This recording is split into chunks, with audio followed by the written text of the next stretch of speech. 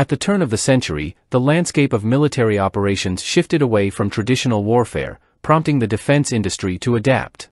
Responding to this change, Thales of Australia developed the Bushmaster series of infantry mobility vehicles, IMVs, to cater to the evolving needs of infantry.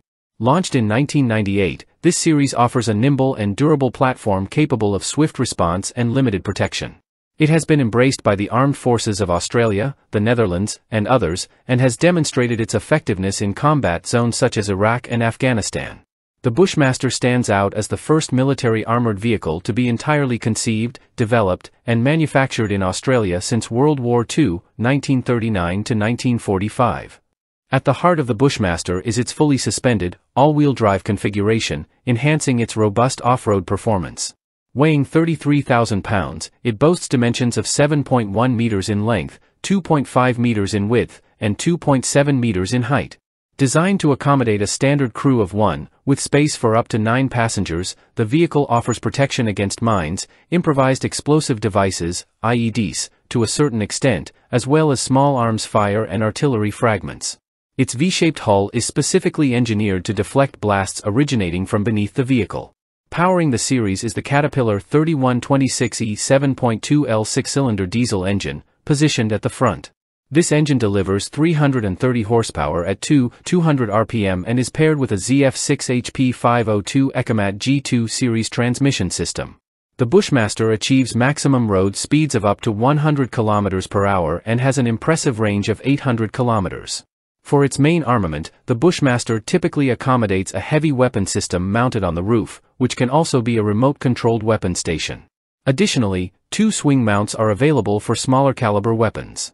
A key tactical advantage of the Bushmaster is its ability to be transported by air, such as via Lockheed C-130 Hercules aircraft or similar platforms. Like many military vehicles of its class, the Bushmaster is not limited to a single role but encompasses a series of vehicles based on a standardized design. This approach is taken for cost-effectiveness, allowing a single model to serve as the foundation for various battlefield tasks. Consequently, variants of the Bushmaster line include a dedicated command vehicle, CV, air defense vehicle, ADV, and an armored ambulance, among others, highlighting the vehicle's versatility. Furthermore, civilian adaptations of the Bushmaster are also in service. Initially, the Australian Army ordered 370 units of the Bushmaster, but this number was later reduced to 299 units, which were delivered in 2005. Subsequently, additional orders were placed to increase the Australian inventory to over 1,000 units.